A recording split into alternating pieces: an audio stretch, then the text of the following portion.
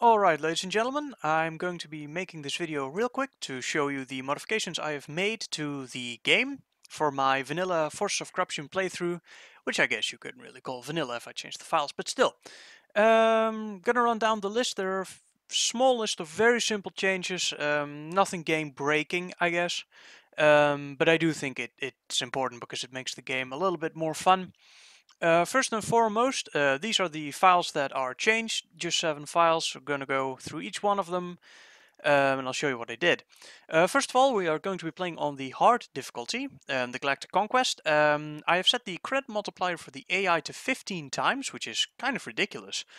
Um, actually, it means that the AI is practically going to have unlimited money because I want more fleets, more stacks, um, basically the AI to build more stuff and send it my way. Um, contrast you don't need to worry about. Um, the galactic build time multiplier, however, you will have to worry about because I have set this multiplier to 2. Normally this is set to uh, 0.6, which means that the AI builds everything in just 60% of the time, which it would take you to build. Um, your ships and your buildings and your ground forces, everything. Um, but the AI takes twice as long to build everything right now. This caused the situation that even though the AI has um, as much money as they could ever wish for, it's going to take them a long time to actually construct their fleets, um, which gives you time to um, to build yours and basically counter them.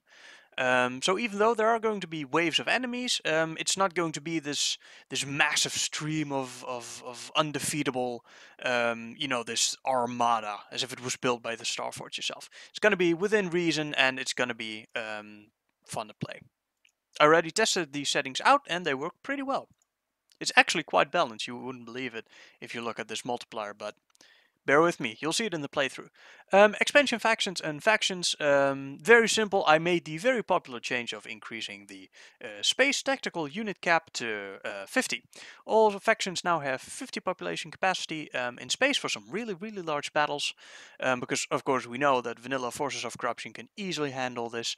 Uh, nothing else changed here, so on to the next. Uh, game constants you also don't really have to worry about. The only thing I changed here, I think, is that I um, switched off the flash effect when a ship gets hit on its shields. Uh, there is a, um, a flashy effect that goes throughout the entire ship. A ship lights up very briefly. Um, personally, I hate that effect it's with a passion. It's terrible. Um, and I wanted it gone, so it, it's out now. It's just a very minor visual change. Won't impact gameplay. Um, Hardpoints Underworld. Um, this is actually quite significant. I have changed the uh, Executor class Star Destroyer. We'll actually open that file first. Um, there are now six buildable Executors. Um, and I changed uh, their size from uh, scale factor 1 to scale factor 2, which means that the ship is now going to be double the size that it was in the vanilla game. Um, which, of course, we know that in Forces of Corruption, the Executor wasn't correctly scaled. Um, this isn't really as much of a problem. Um, I simply scaled it up. There are a few more changes. I have increased its speed. Um, let's actually change this to something a little bit more reasonable. Okay. Um, I have put it on a slightly lower uh, level Z adjust, which means it's slightly below the battlefield now, um, at least further away. Um, nothing too much, but uh, just so ships don't collide with um, the craft. Um, I've made the ship only buildable on capital ship planets. Um, takes a little bit longer to build, I think. I think, uh, I'm not sure if I can find the shield points here somewhere. I changed the shield points, I think I doubled them. Since the ship is now double the size, I figured it would need double the, um, double the health and the shield points. If I can find it. I didn't really change the garrison, except that I uh, removed the god-awful uh, deployability, which was so annoying. I always hated that. Um, I can't actually find the shield point. Oh, this. Oh, oh, I mean that can go with the new, the new fire range. Actually, let's set that to this. Um, that can stay. Okay, so let's see. Scale factor, shield points, um, six executors buildable. What else? Uh, deployability is now gone. Uh, weapons we'll get to. Mm. Oh, I changed the population uh, capacity from uh, for an executor class from 3 to 16 because that's a lot more um, that is a lot closer to his actual power level, of course. Uh, tractor beam unchanged. Um, yeah, that's not changed up the death clone as well, of course. So it's larger. Um, I'm actually going to check the shield points. I may have accidentally removed that. Uh, shield. Shield. Shield type. Shield refresh rate. No shield points. That's interesting. Uh, I must have accidentally deleted something. So bear with me as I make a very quick change. Um, what was the original Executor's shield points? Gonna do some on-the-fly modding here. Uh, apologies, this was meant to be a quick video, but we will have to... Uh... Let's see, this is the vanilla Executor file. Um, mm -hmm. Shield points, 7,000. Tactical health, 9,000. What was the shield refresh rate?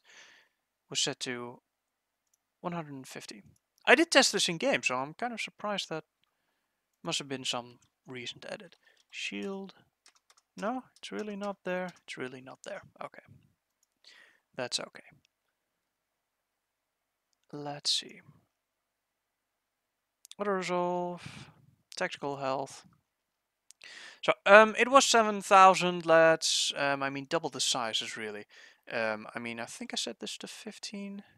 I mean, I may, I, I may just set it to 20,000 because let's be fair, this is a superstar destroyer, uh, and we'll bump you up a little bit as well. No, let's not bump you up. Let let's keep it reasonable. Um, we do want to keep it vanilla uh, we don't want to mod it too much. Okay, so basically um, the Executor is now larger, it is slightly more powerful, it has a lot more um, population capacity and it automatically spawns its garrison. Um, so that's all that.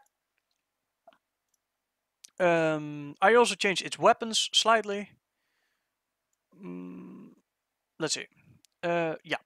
Example, um, all health values of the Executor hardpoints used to be uh, 1000. Um, I changed it to 1250 um, because I felt that if we make the ship larger, um, there's going to be less hardpoints um, overall that the enemy can target, so the ones that they can target should have at least a little bit more health. Um, so a 25% health increase, nothing too major. Um, what is major though is the firing range. Um, I think this was 3300 for every weapon. I changed it to uh, 4800 for every weapon. This isn't too much. I didn't change uh, the fire rates or the amount of projectiles fired or the inaccuracy or anything else. Just a slight boost in health and a fire range increase so that now um, you can actually get the ship to fire at a single target instead of um, half the hard points not being able to hit the front of the ship, which I thought was a little ridiculous. Um, so that's a change. I personally found this to work very well. It doesn't actually make the ship overpowered um, at all because the hardpoint or the projectiles are actually quite slow. Um, so yeah, it'll work very well. Um, and last but absolutely not least, the tactical cameras. Um, I have changed the. You don't actually need to look at this. Um, I changed the tactical cameras to the uh, version that the remake mod uses, which is the mod I am making. I think it works very well and it looks nice and it's very cinematic in game. Um, so yeah, I figured why not use it for my playthrough. Um, yeah, that's it. Real quick video, and uh, hope that was a little bit informative as to uh, the small amount of changes that I have made to make the game a little bit more fun, a little bit more playable, um, and a little bit more exciting. So I hope to see you in the next uh, the next playthrough, which will be uploaded soon. I will be recording several episodes uh, back to back right now. And uh, I hope those shall be up. Uh, those will be up on YouTube soon. So thank you for watching, and I hope I will see you in playthrough. Bye bye.